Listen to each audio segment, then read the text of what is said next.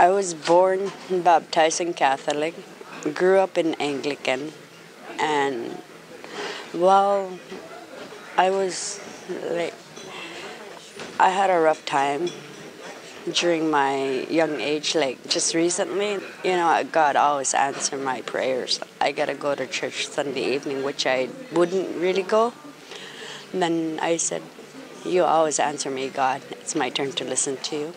My grandma, she's actually my aunt, but I called her grandma.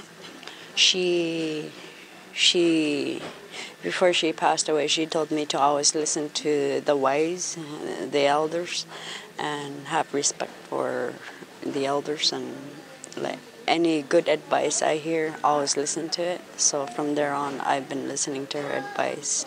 I grew up rough, and then I said that's what I'm gonna do with my kids, with my generation. I said I'm not gonna raise my kids like this, like how I was raised, like from drugs and alcohol.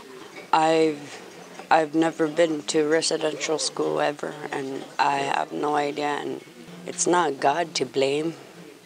Like anything happens, it's not God. God is love. I'm excited for Will Graham coming up. That would be great to get like most of the whole community to come.